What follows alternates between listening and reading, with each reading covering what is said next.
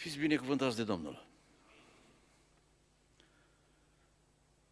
În după masa aceasta, așa cum s-a anunțat, vom parcurge împreună, potrivit unui material care îl veți primi, cum s-a spus, un studiu intitulat Cateheză pentru căsătorie. Studiu care se extinde pe parcursul la 10 lecții, dar noi îl vom concentra și din cele 10 lecții a 50 de minute, una cât uh, a avut el inițial, îl vom reduce și vom avea doar două lecții de aproximativ 50 de minute, urmând ca în a treia oră de părtășie să fie loc pentru întrebările dumneavoastră pe această temă. Prima lecție se numește Familia în gândirea divină. Adică este foarte important să știm cum a conceput Dumnezeu această lucrare. Și privind în Scripturi încă de la început, vă citesc din Cartea Genesa, capitolul 1, versetele 27 și 28, observăm că Dumnezeu și-a rostit planul pentru eternitate, putem spune, prin prisma familiei. A fost organizația inițială și permanentă realizată de Dumnezeu ca proiect. Dumnezeu a făcut pe om după chipul său. L-a făcut după chipul lui Dumnezeu, parte bărbătească și parte femeiască i-a făcut. Dumnezeu i-a binecuvântat și Dumnezeu le-a zis, creșteți, înmulțiți-vă, umpleți pământul și supuneți-l. Și poruncile acestea au în vedere familia. Deci Dumnezeu nu l-a binecuvântat pe om ca individ luat separat, ci i-a binecuvântat ca familie. Pentru că, la drept vorbind, dacă n-ar fi fost familia de-a lungul istoriei, n-ar fi fost omul. Dumnezeu și-a conceput planul pe structura familiei. Asta înseamnă că familia este ceva foarte important în gândirea divină. Privind în istorie, întâlnim câteva tipuri de familie.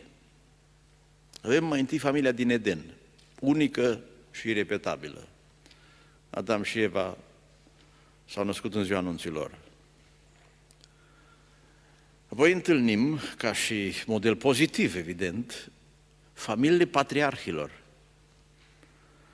Ele nu sunt familii desăvârșite, dar uh, sunt familii de la care se poate învăța mult, în sensul uh, respectării unor principii pentru a se încadra într-un plan mesianic.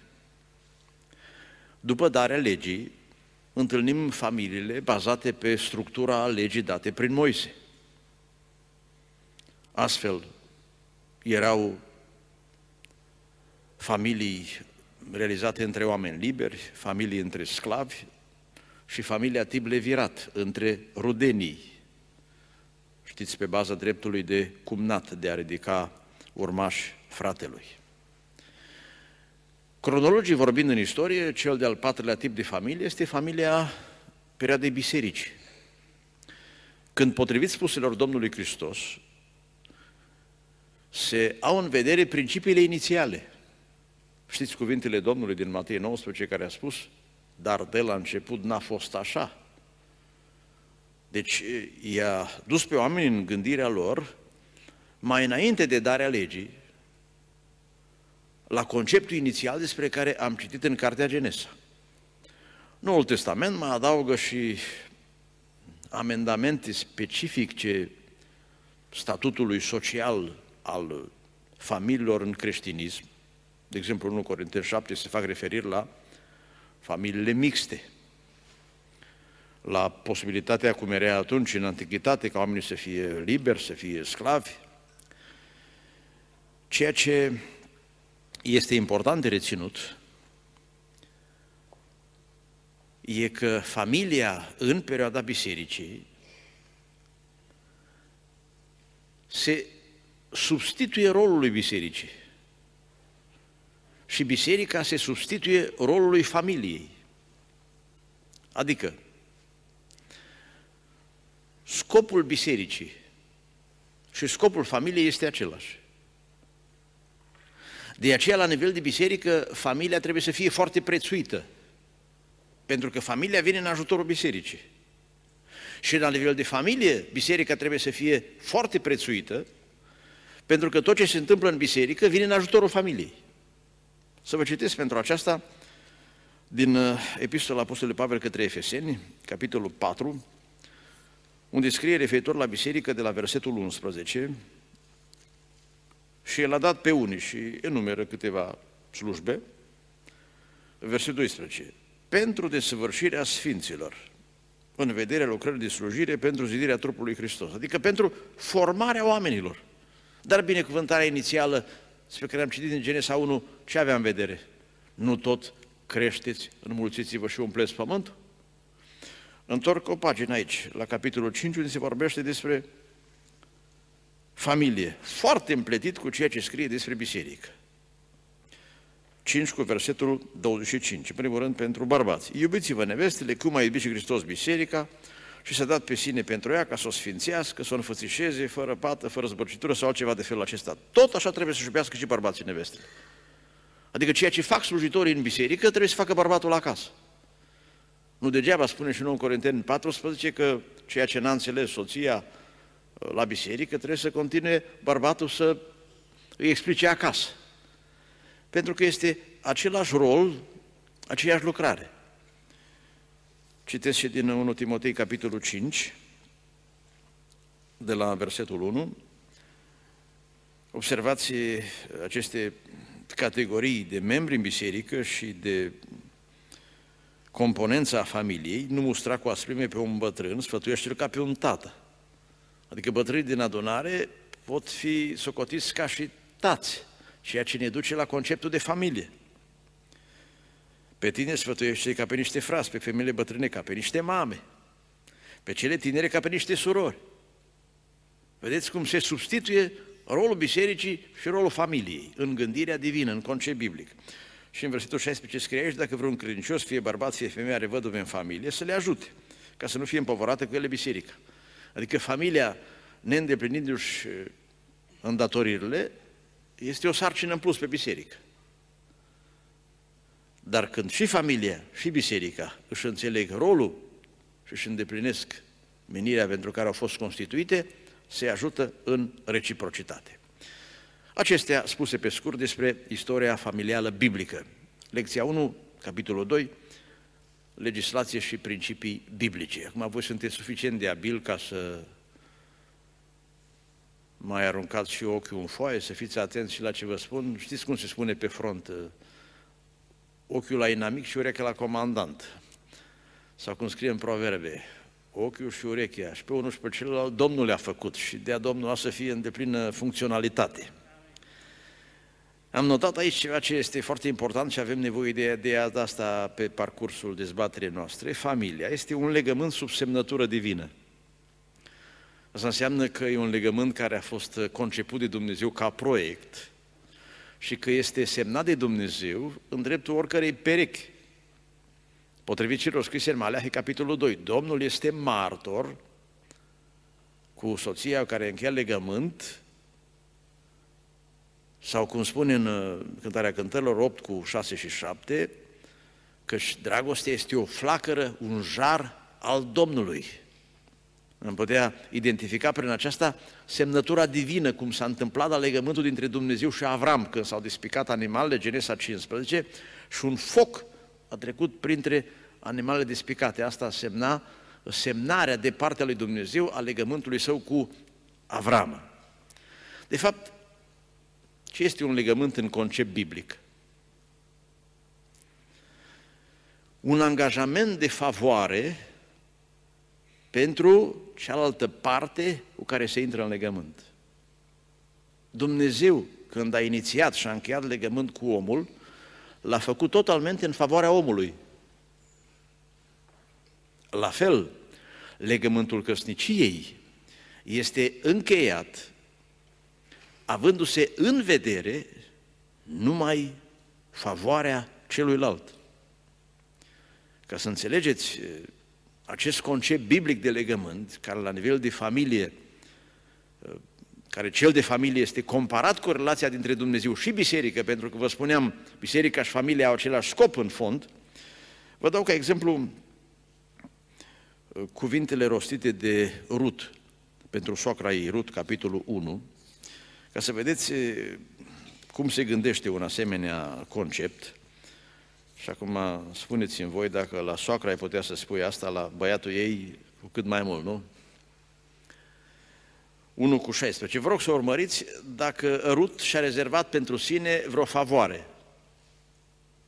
Dacă este vreo clauză care în nerespectarea ei putea să ducă la rezilierea contractului. Între legământ și contract este o diferență fundamentală. Nu sta de mine să te las și să mă întorc de la tine. Încotro vei merge tu, voi merge și eu. Adică tu alegi direcția. Unde vei locui, tu voi locui și eu. Asta tu decizi. Poporul tău va fi poporul meu, Dumnezeul tău va fi Dumnezeul meu. Unde vei muri tu, voi muri și eu. Și voi fi îngropat acolo. Mai mult, fac în Domnul ce o vrea. Nici o pretenție pentru sine. Nimic nu va despărți de tine decât moarte.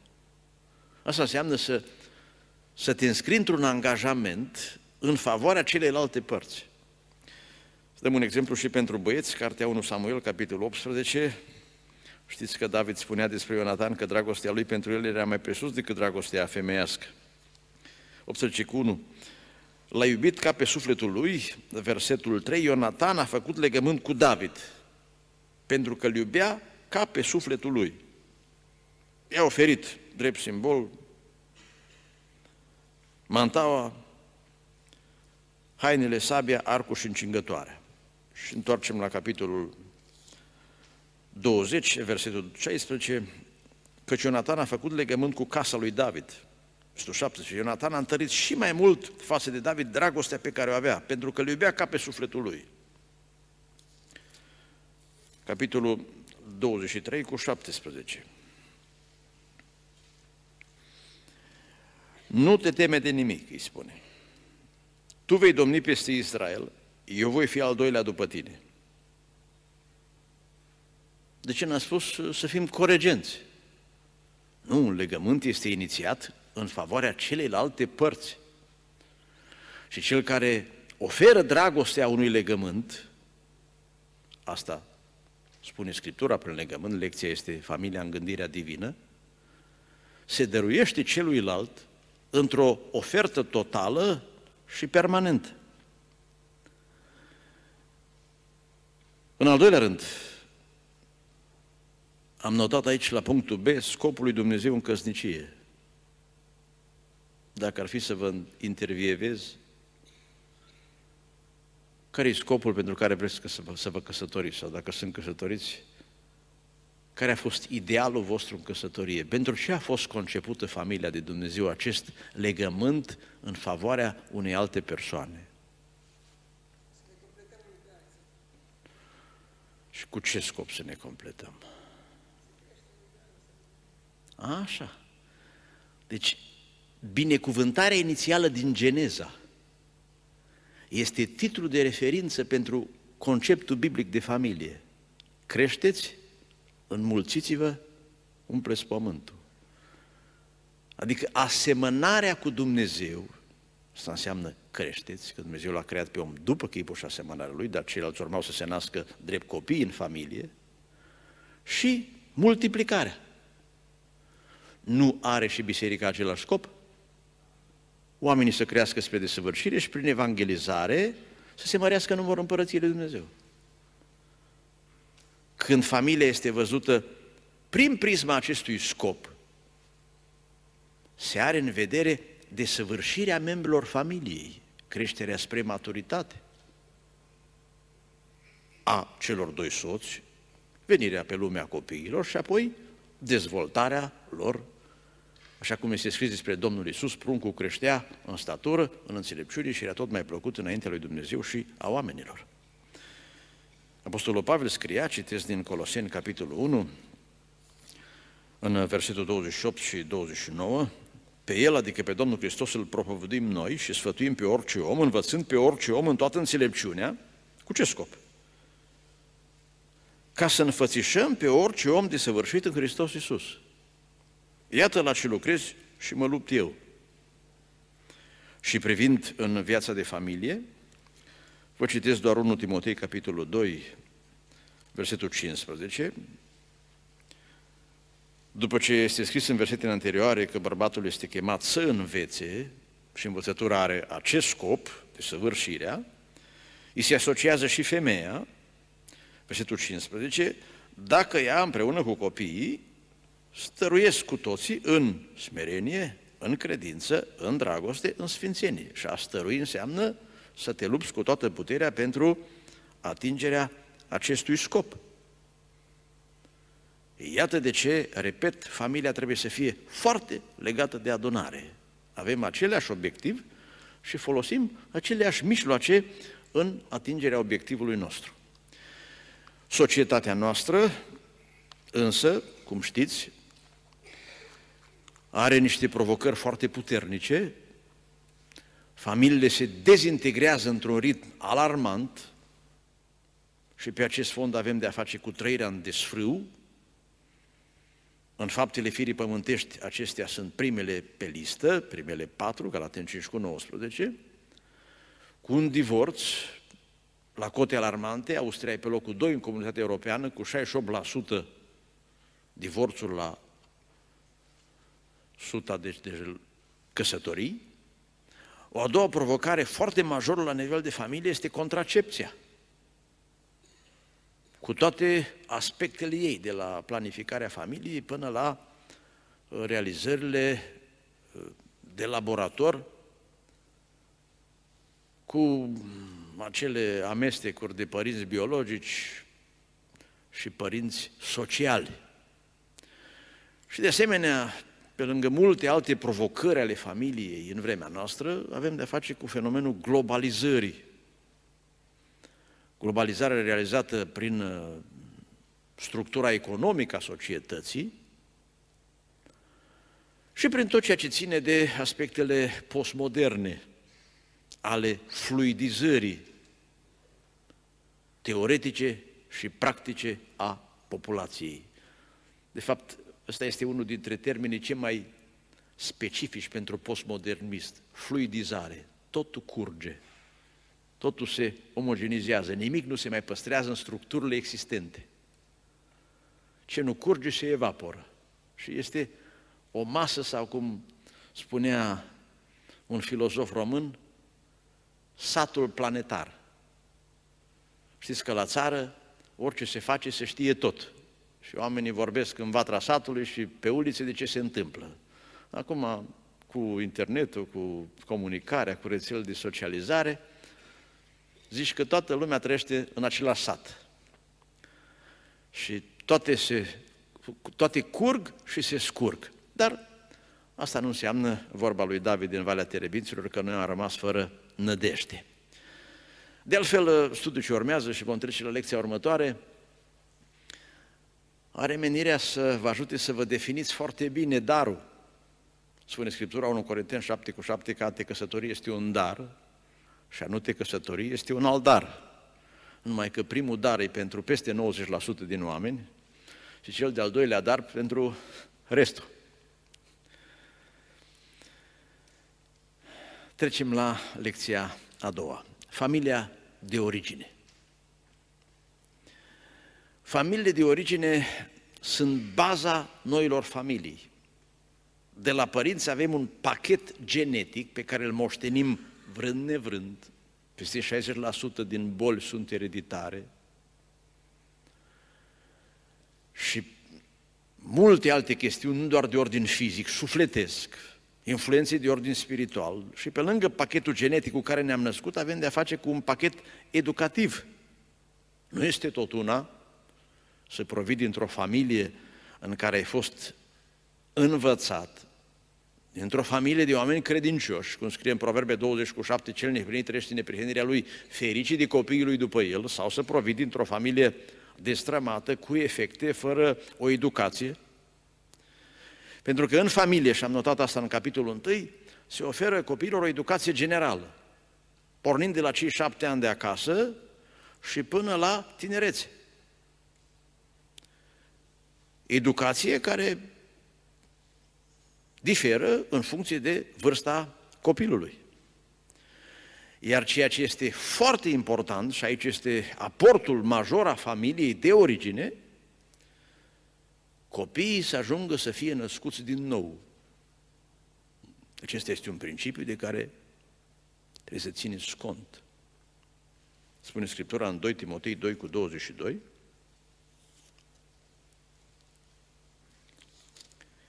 Fugi de poftele tinereții. Ce înseamnă asta? Să urmărim, să vedem. Urmărește neprihănirea, credința, dragostea, pacea împreună cu cei ce cheamă pe Domnul într-o inimă curată. Este cunoscut că societatea provoacă pe adolescenți să înfiri pe relații, băieți-fete sau de grup. Biblia recomandă mai întâi să se dobândească un statut spiritual, să se realizeze nașterea din nou, o anumită maturitate, și asta spuneam că e scopul familiei și a bisericii, și abia după aceea, de pe o altă bază, să pornească băiatul sau fata în planul căsătoriei. Spune aici, pagina de dreapta, capitolul 3, versetul 15, Pavel către Timotei, din pruncie cunosc Sfintele Scripturi. Dar dacă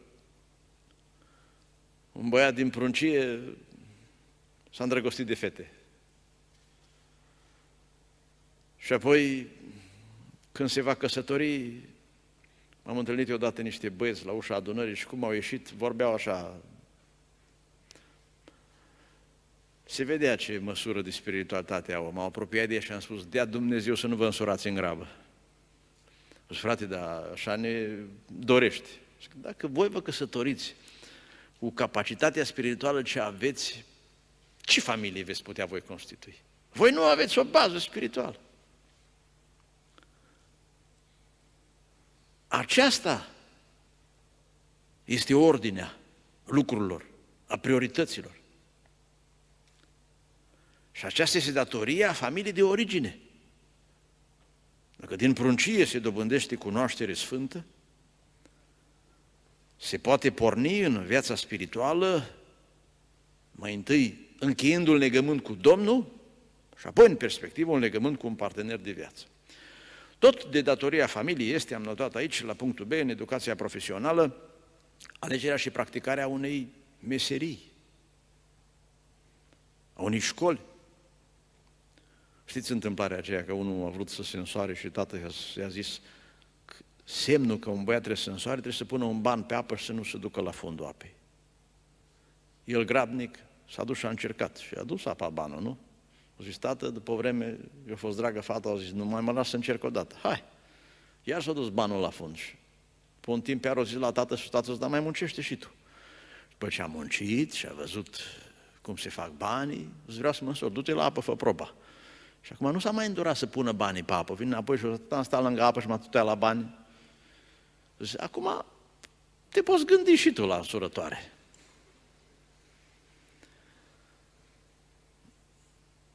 Dar dacă din familia de origine fata n-a știut să facă mâncare, o să dea telefonul apoi la mama, nu? Sau o să sune soacra pe băiați, unde sunteți? Mâncăm în oraș, la local. Da, dragă, e scump, nu? Faci tu o mâncare acasă. Da. Ce să faci dacă acasă n-a învățat să facă? Trecem la punctul 2, educația maritală. Asta ține mult de familia de origine, adică tata și mama, special tata să-l învețe pe băiat să devină bărbat, să-l învețe să înțeleagă sexul feminin, să-l iubească și să-i placă munca, așa cum spuneam. Dar dacă de la tata băiatul va primi informații de genul, dă-le pace, așa toate femeile, nu nici eu nu-i spun toate la mamă ta, vezi, să nu... Deja pleacă cu un concept foarte greșit. Părinții, în special mama, este indicat să o formeze pe fată. prin modelul ei de supunere față de soț, prin pasiunea pentru cele din casă, pentru rolul de mamă. Mi s-a întâmplat împreună cu soția să vizităm familii nou formate și în mai multe situații îmi spunea soția că iau acele femei tinere, era bine dacă veneați mai repede la noi, că eu am crescut de la mama cu ideea asta, auzi, bărbatul e ceva negativ. Sau am întâlnit și situații în care o familie întâmpina probleme în, cadrul, în cazul relațiilor intime, pentru că a venit cu un preconcept din familie că intimitatea este păcat. Și sub acest aspect, femeia tot timpul se închidea și se socotea vinovată când bărbatul avea o relație intimă cu ea. Fel și fel de afecțiuni. Dacă aveți modelul unor părinți sau și a unor bunici cu atât mai mult, care la bătrânețe sunt foarte legați și țin la copiii lor, au anumite reuniuni de familie, atunci pornești în, familie cu, în viața de familie cu entuziasm. Dar dacă părinții tăi au fost un eșec, nu s-au înțeles, nu te-au învățat, pornești cu teamă. Și aici biserica trebuie să-și exercite rolul pentru a compensa ceea ce nu s-a realizat în familie, pentru a ajuta la crearea unei gândiri corecte și a unui entuziasm necesar pentru viața de familie. Am notat în încheiere că transformarea unui individ în persoană se realizează în laboratorul numit familia de origine. Noi ne naștem ca indivizi, dar apoi Dumnezeu vrea să devenim bărbat, respectiv femeie, și rolul părinților începe cu perioada prenatală și se continuă cu pregătirea până la căsătorie, acea procreere în afara uterului mater și a coapselor tatălui. Copilul nu se formează numai în pântecele mamei, se formează sub mâinile și sub întreaga influență și formarea mamei până la maturitate. Dacă aveți astfel de părinți, spuneți împreună cu mine, Dumnezeu să-i binecuvinteze. Dacă nu aveți acasă, aveți în biserică, frați slujitori. Și sub acest aspect, în biserică nu avem copii orfani. Toți pot să-și găsească părinți, oameni de la care să învețe și să ajute la formarea lor. Trecem la lecția a treia, de la care o să spicuiesc doar ceva pe scurt. Să ținem cont de mediul religios. Noi trăim, de fapt, într-un cer concentric. Ne-am născut în familie, membrii familiei gravitează în jurul nostru, membrii adunării sunt al doilea cerc, ne adunăm săptămânal, avem prietenii, sunt influențe, slujbele, discuțiile, prieteniile. Și al treilea cerc concentric este format de societate, școală, servici, vecinătate.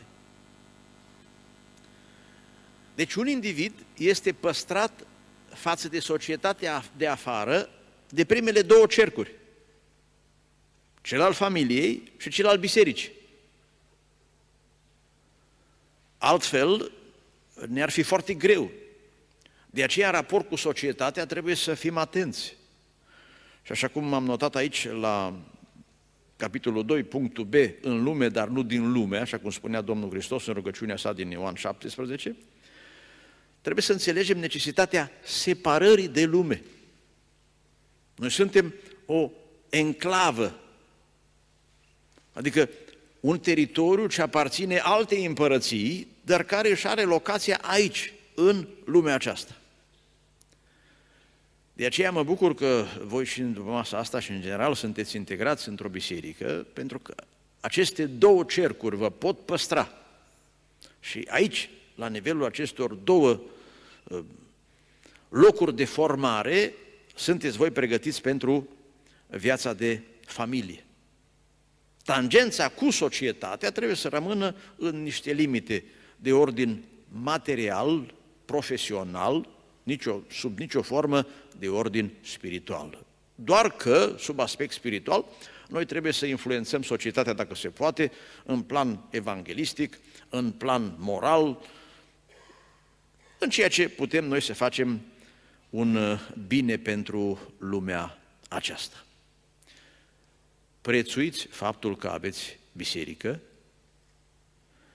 pentru că altfel voi și copiii voștri ați avea mult mai mult de suferit din partea acestei lumi. Încercați să fiți cât mai mult în primele două cercuri, în sânul familiei și a bisericii. Poate exemplul lui Esau și Iacov sunt cele mai semnificative. Iacov s-a format în cadrul familiei și a moștenit toate binecuvântările pe linie de familie. Esau s-a format în afara acestor două cercuri și a pierdut tot ce avea. S-a și căsătorit în afara acestor două sfere și, în final, deși și-a dorit, nu am avut parte de binecuvântare.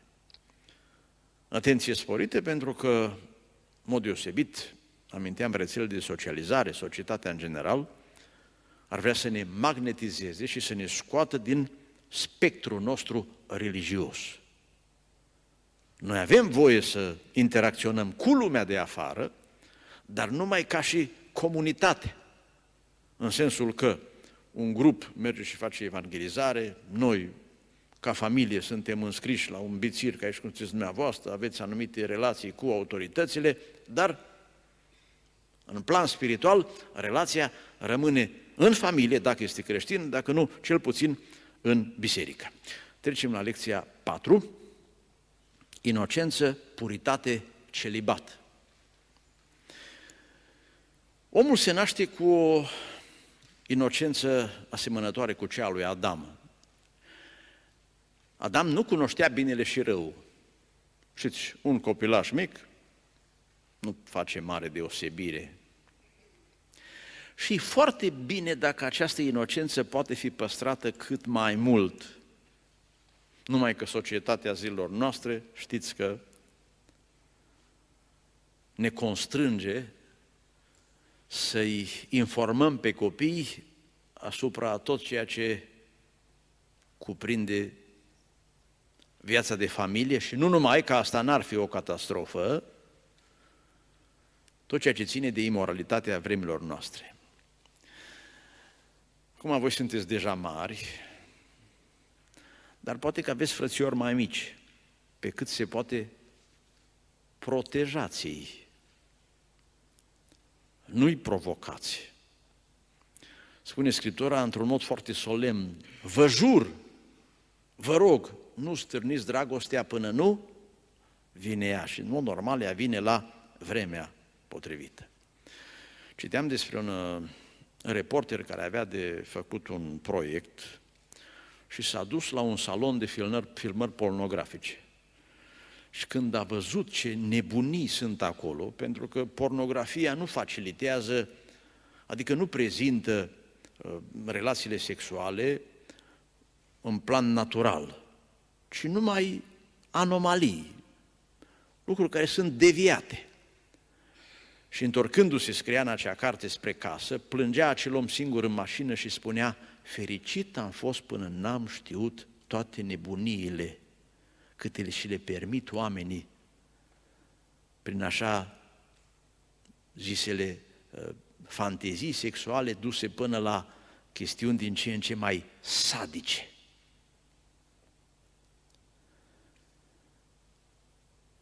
Dar voi sunteți, cum spuneam, maturi, mă opresc la capitolul 2 și aici insist, puritate premaritală. Ce înseamnă asta? Și am notat și eu v-aș recomanda să reluați materialul ăsta acasă, cum v-am spus, el ar dura mai multe ore, și să citiți voi versetele astea care vi le-am dat aici.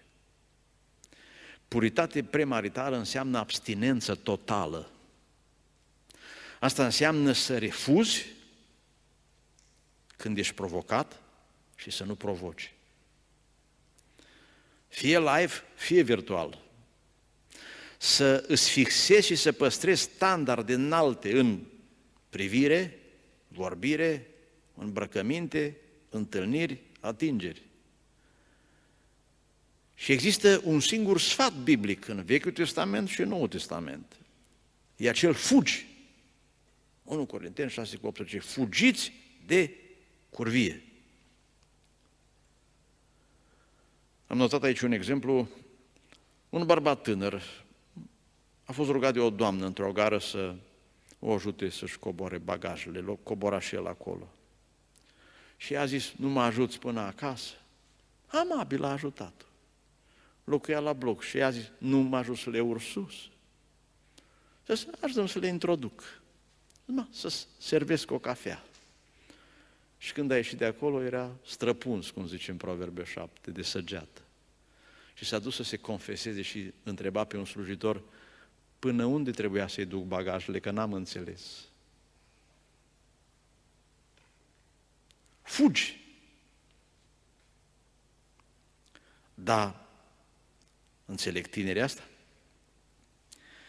Iată ce citesc în 1 Tesaloniceni, capitolul 4, de la versetul 3. Voia Dumnezeu este sfințirea voastră să vă feriți de curvie. Fiecare din voi să știe să stăpânească vasul în sfințenie și cinste. Nu în aprinderea poftei ca neamurile care nu cunosc pe Dumnezeu. Și v-am enumerat aici câteva motive pentru a păstra puritatea premaritală. În primul rând este o poruncă divină și dovada unui caracter sfânt. Referința din 1 Corinteni 6 e trupul templu Duhului Sfânt. 2. Sau B, cum le-am notat aici. Păstrează discernământul și libertatea în alegerea partenerului de viață. Adică atunci când ți-ai permis anumite vinovății în privința asta, tu ți-ai limitat area de unde mai poți să-ți alegi o fată și ai restrâns numărul băieților care pot să te mai curteze. Știți? Care e întrebarea lansată de un adevărat bărbat. Cine găsește o femeie cinstită, este mai de preț decât Margaritar la inima bărbatului se încrede în ea.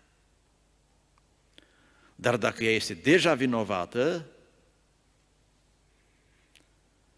ea nu are o libertate de plină la căsătorie. Sau el. Ce? Protejează de boli venerice și pedeapsa pentru curvie. Și perversiunile de mai târziu din viața de familie sunt pedepsite de Dumnezeu prin aceste boli, care de regulă sunt cronice, nu se mai vindecă toată viața. D. Evită distrugerea personalității, a stimei, a stăpânirii de sine și a altor familii. Am fost undeva la o nuntă cu soția și ea îmi spune, mireasa se vedea că e bucuroasă. Dar pe fața mirului am văzut o tristețe ascunsă. Eu știam povestea celor doi, că mie mi se confesaseră. El își pierduse bucuria. Îți pierzi stima față de tine. În primul, în prim, primul rând, relație cu propria persoană. Te consideri vinovat. Te acuz, poate pe nedrept. Diavolul te va acuza, poate și mai târziu. Și E, ceea ce este foarte important, dacă ți-ai păstrat puritatea, vei păstra o ofertă și o împlinire întreagă pentru viața de familie. Dacă nu, vei fi uzat. Plăcerea de moment ți-a furat din bucurie. Tu niciodată nu vei mai ști ce înseamnă să-i oferi unui băiat care este soțul tău de acum o îmbrățișare. Acea primă îmbrățișare care are uh, simbolismul ei și emoția ei. Dacă te-au îmbrățișat de nici tu nu mai știi că nu i-ai scris în jurnal, când o să te îmbrățișeze bărbatul, tu nu o să mai simți mare lucru. Am dat aici exemplu cu un pahar de apă din care dai să beie toți câte o gură. Și pe când să-i mai dai la soț, ce mai dai? Paharul, nu? Vedeți? Am fost la o nuntă în Irlanda a doi tineri și s-a întâmplat că după un an am trecut pe la ei. Și erau tocmai cu jurnalul pe masă, între timp aveau un copilaș, aveau niște amintiri frumoase. Și a spus el, ne-am angajat să nu ne atingem unul pe celălalt. Și zicea el, mi-a fost foarte dragă. Și la un moment dat am vrut să o îmbrățișez și a strigat, nu mă atinge. Și la care ea zice, dar și eu am vrut toată să mă las în brațele lui și forândul lui să strige. Nu mă atinge. Și zice, primul sărut ni l-am oferit când eram la masă după ce s-a consumat slujba de la biserică. Asta e o poveste ce poți să o spui și la copiii tăi. Dar dacă nu povestea ta, o să o spui numai la păstor în birou. Și se pare că o să o mai spui când o să vină frații să-ți facă ungerea apoi pe parcurs. Și iată că ți-a perit și bucuria care puteai să o guști și sunt și alte, alte efecte care rămân. Pentru că scrie în Proverbe 5, eu am o vorbă, le spun la tineri, până nu-s căsătoriți să facă studiu pe psalm și pe proverbe. Rugăciune multă și versete pe de rost. Că dacă vor face studiu pe cântarea cântărilor înainte de vreme, apoi după ce se căsătoresc nu le mai rămâne decât să facă studiu pe Eclesiastul. Și o să spună că m-am dezgutat de viață, că totul e deșertăciune. Da, ce să faci dacă n-au știut cum se studiază cărțile Bibliei la rând? Proverbe 5. Versetul 1. Fiul ia aminte la înțelepciune. Versetul 3. Căci buzele femei străine strecoară miere. Cerul gurii este mai lunecos decât un de lemn, dar la urmă este amară ca pelinul. În concluzie, versetul 7. Și acum, fiilor, ascultați-mă, nu vă abateți de la cuvintele gurii mele, depărteați de drumul care duce la ea. Nu te apropia de ușa casei ei. Obișnuiesc eu să le spun la băieți când sunt pe internet, că asta pentru băieții mai mare ispita. Și mai dau un click și încă un click și se apropie așa de imagini murdare. Știți că uneori dacă e, e pornit o boxă, se aude o gălăgie, știi, la anumite etape de accesare. E bine când, dacă v-ați putea implementa un sistem, când se deschid astfel de pagini vinovate, să fie ca un scârțăit a unei uși de dormitor. Și voi să vă imaginați că atunci ați intrat în dormitorul unei familii. V-ați permite așa să mergeți pe stradă, intrați într-o casă, nu e ușa închisă la poartă, intri în curte, nu e închisă ușa la casă, intri în hol, nu e închisă ușa la sufragerie, intri în sufragerie și te bași până în dormitor buză, dar tu nu știi cine locuiește acolo. Ați face una ca asta. Și în dormitor să fie o femeie acolo, ați face? Vă și arestează, nu? Dar când ajungi până în dormitor și ai în față o imagine a unei femei, tu n-ai intrat de fapt în dormitorul unei familii. Tu n-ai violat identitatea unei familii. Și dacă din întâmplare te-ai trezit în hol ca să păstrezi imaginea de aici, ce ar trebui? Care ușă ar trebui să deschizi? Aia spre dormitor sau aia spre stradă? Să fugi, să scapi. Pentru că finalul, ascultați ce se întâmplă aici. Versetul nu, ca nu cumva să dai altora vlaga ta, unui om fără milă anii tăi, nu cumva niște străini să se sature de averea ta, să duci pentru casa altuia și să zici, cum am putut eu să nu bag în seamă și studiu din sâmbătă aceea și multe alte sfaturi ce le-am primit eu. Cât pe ce, cât pe ce să mă nenorocesc, Dumnezeu să vă păzească. Fetelor, vă spuneam că un standard înalt înseamnă nu doar să nu te lași provocată, nici să nu provoci. Apropo de imaginea cu casa, v-ați dori să aveți o casă aici în Austria, scumpe casele. Dar dacă ați avea o casă, ați dori să aveți o curte la casă, să aibă copiii să se joace.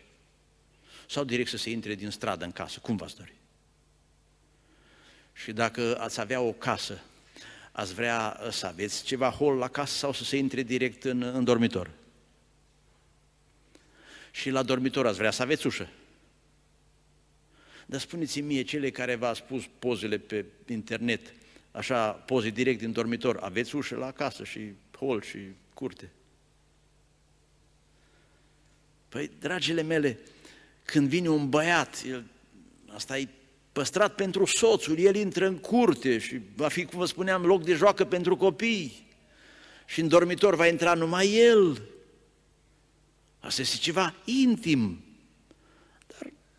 fetele care vă spuneam și-au pus poze și băieții care intră în dormitor la oricare, zic și eu, Dumnezeu să ierte că încă vii. Dar asta este o tragedie în timp. De aceea se impune până în momentul realizării căsniciei să vă păstrați demnitatea, să înțelegeți că aveți parte de un celibat temporal, până când Dumnezeu vă va ajuta să vă înscrieți în această lucrare. Și am încheiat lecția asta, notați, observați aici în încheiere, pierderea totală a inocenței și apoi a purității te poate face să nu mai cunoști niciodată adevărata dragoste a vieții de familie. Dumnezeu să vă dea îndurare. Și ultima lecție pe care o facem acum în uh, prima parte, asta ca să nu vă las sub apăsare, lecția 5, imoralitate și pocăință. Problema gravă e dată de faptul că imoralitatea în vremea noastră nu-i socotită păcat. Furtul e socotit păcat, imoralitatea nu. Am notat aici în istoria imoralității evoluția de la religiile cananite. Știți de ce popoarele cele șapte din Canaan au fost exterminate de Dumnezeu și alte popoare ca egiptenii au scăpat? Pentru că popoarele cananite au fost foarte imorale. Religia cananită era o religie a sexului. Se socotea că primăvara Bal iese din peșteră și are relații intime cu Astartea și de aceea dă pământul verdeață și natura se trezește la viață. Și provoca pe oameni la un sex fără norme. Egiptenii au fost mult mai morali. De aceea Dumnezeu pe unii a lăsat cu viață și pe ceilalți le-a spus că îi distruge. Și scrie în Levitic 20, pentru cei ce cercetați Scriptura, le spune la evrei, dacă veți comite urăciunile legate de goliciune, apare acolo termenul frecvent, țara va vărsa din gura ei cum va vărsat pe locuitorii țării. Deci, înainte al Dumnezeu, sau cum spune în 1 Corinteni 6, curvia este singurul păcat în trup care întinează templul lui Dumnezeu. Dar în vremea noastră, culminând cu iluminismul, cu Revoluția franceză, cu Revoluția feministă, Revoluția sexuală, s-au anulat toate normele. Din potrivă, s-au stabilit contranorme care încearcă a expulza cu desăvârșire adevăratele principii din teritoriul pe care Dumnezeu l-a lăsat. Și am notat aici câteva fenomene care vă fac vinovați și apoi câteva etape de pocăință. Observați de la B. 1. Masturbarea. Asta e autosexualitate egoistă. 1 Corinteni, capitolul 6, enumeră vinovăția aceasta între păcatele care nu permit în moștenirea împărăției lui Dumnezeu. Nu vă înșelați în privința aceasta, versetul 9, nici curvare, nici înclinător la idol, nici prea curvare, categorii foarte vinovate, am spune noi, nu? Nici malahi. Ceea ce înseamnă, puteți urmări dacă vreți, dacă aveți o traducere București 2001, scrie nici cei ce se masturbează. Nici sodomiții, homosexuale, nici hoți, nici... Nu vor moșteni împărăția lui Dumnezeu. În concept biblic, căsătoria este poruncită de Dumnezeu. Ori ați satisface singur aceste nevoi și a te masturba înseamnă să te opui poruncii divine de căsătorie și de procreere, ceea ce te face vinovat. 2. Diverse forme de necurăție și curvie între persoane, live sau virtual. E egal. Biblia e foarte actuală, spunea Domnul Matei 5, oricine se uite la o femeie ca să o poftească și prea curvit, îi valabil versetul ăsta și pentru imaginea video? Absolut că e valabil. De aceea, fetelor, nu vă permiteți să vă spânzurați trupul în piața de obște, dragile mele, că se uite băieții la voi și păcătuiesc. Și cine îi pricin de păcătuire? Dumneavoastră. Să aveți ușă la dormitor. Să aveți și la casă. Vă doresc și curte la casă. Nu? Direct. Așa se întâmplă nu doar virtual, ci live la fetele care merg și se expun undeva la plajă față de băieți. Am notat aici câțiva pași mărunți de care vă îndemn să vă feriți. Primul pas e fără atingeri, ochi, trup, privirea. Zice Iov, nu mi-aș fi oprit privirile asupra unei fecioare, sau ochi, ochi. Acei ochi dulci, zis sau voce-voce. Că băieții foarte ușor știu să facă complimente la fete. Și fetele, imediat, li se pare că le-au crescut tari și deja sunt pe, pe vals. Urmează faza a doua, primele atingeri. Mână de mână, braț pe umăr, mână pe talie, deja ar trebui să se aprindă becul roșu într-una. Apoi atingeri calde, față în față, și așa mai departe, săruturi. Și apoi pe tobogan. Și toboganul nu are decât trei reguli, nu are frână, direcție și marșarier. Ceea ce înseamnă că sigur te duci la vale.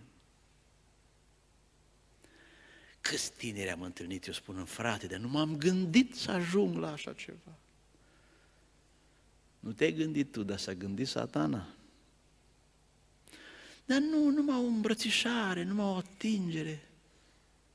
A, deci tu numai te joci cu scântei în pădurea uscată, nu? Și apoi te plângi, frate, nu m-am crezut, n-am crezut că o să ardă toți copaci. Scrum o să rămână în urmă, amintiri care n-ai mai vrea să le vezi vreodată. A fost undeva la o nuntă și au pus în imagini, video, amintiri din familia de origine, cum au fost ei la studiu cu copiii, la biserică, foarte frumos, părinții, bunicii, băi, zic ce familie cu respect pentru înaintaș, pe ăștia va binecuvânta Domnul. Și numai începe să se schimbe peisajul și apar imagini cu ei doi prin parc, îmbrățișași, pupându-se. Să uită oamenii, mă, dar stai, ăștia în dimineață au avut nunta, unde ești făcură pozele astea? Că acum e toamnă și peisajul ăla e cam de primăvară. Păi deci dacă e de astă primăvară, deja o băga lemne pe foc, îți dai seama că felul întâi s-o consumat deja, o fier ciorba.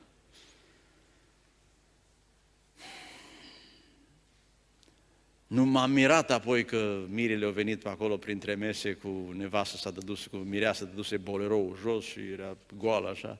Și a zis, bă, zic, am auzit la români că mi-a furat pantoful, văd că la ta a furat bluza. Apoi, asta e pentru tine, mă, nu-i pentru noi. Noi ne mulțumim cu ciorba și ne-ai dat-o, băi. Și asta e de servit, așa, să, să, să servească toți cu ochii. Vedeți? Oameni fără principii, Atenție, am notat aici la trei, la prietenii periculoase, violuri, agresiuni sexuale, live sau virtual, fetelor, în plan virtual scade capacitatea intelectuală la sub 50%. O fată de 20 de ani, când stă de povești deja o jumătate de oră pe net, mai pricepe cât o fătuță de 10 ani. Atât! Și o duci de minte, cine o duce de minte? Specialiști. Cum spunea o beată fată, dacă ai ști, frate, cum vorbește, zic, îți dai seama ce experiență are. Cine știi tu ești a câta fată păcălită. Dar nu de unul de ăsta ai nevoie, de altul care nici nu știe să spună te iubesc, acum spune prima dată, tot să bâlbăie săracul. Da, da, asta e ceva, e bio, pe când restul e chimicale, e contrafăcut. Am notat la consecințe, uitați voi peste ele, pierderea inocenței, a purității, a prezistenței morale. Să știi că de fiecare dată, dacă ai cedat, de exemplu, până la îmbrățișări și atingeri, următoarea dată, până acolo cedai din oficiu și bătălia e pentru următorul pas, mai jos.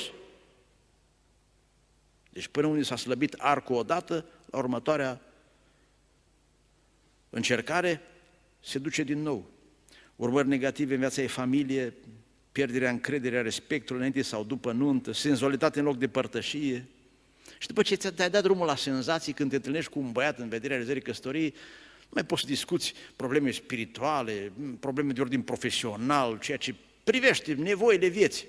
Imediat se scapă din nou la senzații. Este acea așezare a piramidei cu capul în jos, care nu va avea nicio rezistență. Spunea o familie undeva aici în Europa, erau căsătoriți de câțiva ani, spus, frate, nu ne-am respectat principiile și ne-am dat drumul la atingeri și de aici până la o intimitate.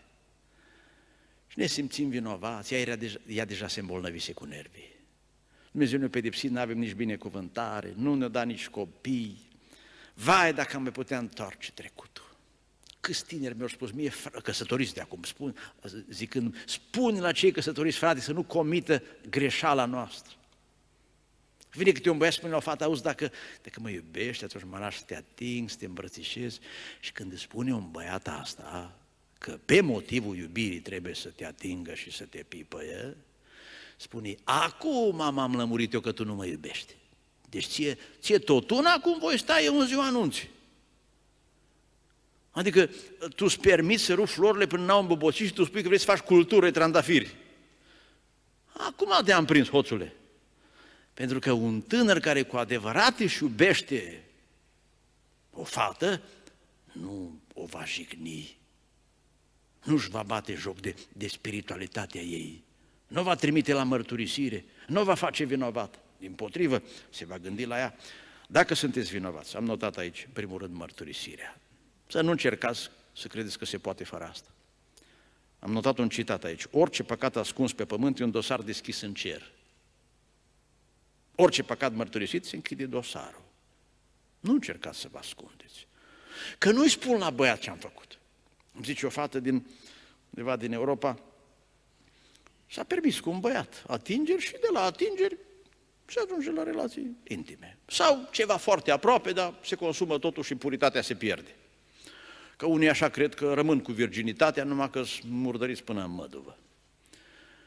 Și el s-a dus în țară, se întoarce înapoi, spune, nu mi-a vorbit Domnul că nu mai trebuie să te iau. Și a abandonat-o. Păi după ce ți-ai permis asta cu ea, ce să mai întrebi pe Domnul? Când o să te bată, înainte sau după nuntă? Altceva ce să-l mai întreb, nu? Și au lăsat-o. Și după un timp, un alt băiat a intrat într-o relație cu ea, vrea să se căsătorească și am întrebat-o, ei povestit uh, trecutul tău? Nu, că nu vreau să-i spun. Și tu crezi că vei putea să trăiești cu el o viață întreagă și să păstrezi secreta asta? Nu se poate. După 5 ani, după 10, nu vei mai avea somn și tot va trebui să-i spui. Și atunci el o să te învinuie de infidelitate și o să te bombardeze cu întrebări încă 10 ani, dar numai atât au fost. Dar când au fost? Și te termină. Dar asta este, ne mărturisim. Dumnezeu ne poate ierta, partenerul trebuie să ne accepte cum suntem. Doi, acceptarea disciplinării și pedepsei și consecințelor. Trebuie să suporți consecințele. De exemplu, poate frații vor decide să nu mai înuntă în adunare. Poate nu te vor mai lăsa să cânți, nicio problemă. Mai bine suporți, dar știi că te vindeci. Lasă cu rușinea. Mai bine puține rușine acum și nu boală mai târziu. Mai bine smerenie acum și nu copii cu probleme mai târziu. Mai bine acum smerenie decât neînțelegere mai târziu. Eu n-am întâlnit familii de tineri care să fi fost cu probleme înainte, să fie ascuns la nuntă și după aia să-i binecuvânteze Dumnezeu. Toți ori pățit-o. Ori se ceartă, ori îi pedepsește Dumnezeu. Dar cu probleme care s-au mărturisit și au suportat disciplinarea, binecuvântați, am întâlnit. Că Dumnezeu nu ține mânie pe vecie. Dar asta numai în condiții de pocăință. Apoi urmează, am notat punctul 3, lupta pentru eliberare de păcat și neprihănire. Există un program de consiliere online pe site-ul Dragoste pentru Adevăr și mă abordează diferiți tineri pentru astfel de probleme. Mulți pun întrebarea, frate, ce să fac ca să scap? E întrebarea cea mai pertinentă. Trebuie să te lupți. Le spun de regulă băieților care spun, nu pot să scap de masturbare. Păi, trebuie să termin cu tot ceea ce ține de vizualizări păcătoase, de pretenirele, să te dedici lucrurilor sfinte și unde știi că era pericolul mai mare, unde știi că e ascuns de regulă satana, pe acolo nu treci numai în armată. Zice, de exemplu, frate, la mine ispita se ascunde în baie. Bun, când intri în baie, ți iei arcul, săgețile, scutul. Băi, aici am intru repede, numai cât mă spăl, numai din motive de igienă și repede. Să n-apuce diavolul să întreagă o săgeată. Alții spune, nu, pe mine mă așteaptă ispita, spunea un tânăr, frate, când am tras pătura pe mine, deja odată am văzut că un urs s-a strecurat lângă mine sub pătură. Și m-a apucat un duh, o ispită, o poftă turbat. Dragul meu, te pui în pat până când piși de somn și apoi te pui cu Biblia lângă tine, scrii versetul ăla mare în Apocalipsa, nimic întina și spurcat nu va intra în cetate, te înarmezi și tu. Pentru că există arme de lovire, ale neprihănirii, de apărare, dar astea în relație cu îndeletniciri duhovnicești. Și la nevoie am notat punctul 5, cum spune Scriptura, dacă nu se pot înfrâna să se căsătorească. Vine o fată și îmi spune, frate, nu mai pot cânta la cor, că, uite, m-am tot întâlnesc cu băiatul ăsta, ne-am îmbrățișat, ne-am sărutat, dar căsătoriți-vă, dragă, v-am văzut împreună, m-am așteptat să veniți să ne programăm. Zice, nu, că el nu, nu e gata să se căsătorească. Îl chem pe el, bă, băiete, tu nu vrei să te căsătorești? Ba da, dar nu acum. Mm-hmm. Am mai trăit un caz din ăsta, aveau 30 de ani și el zice, încă n-am încredințare. Mai zic, dar bate-te norocul ca să nu zic mai rău, dar să o îmbrățișez. Ai încredințare? Vedeți? Să se căsătorească. Asta e sfatul biblic. Ca să termine cu ispitele astea. Să se mărturisească, să suporte consecințele și să intrăm în formație, în legalitate, la vreme. Doamne ajută-ne! Amin.